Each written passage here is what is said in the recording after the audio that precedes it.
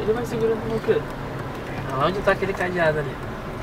E se esse negócio vai tentar ir abrir? Não é porque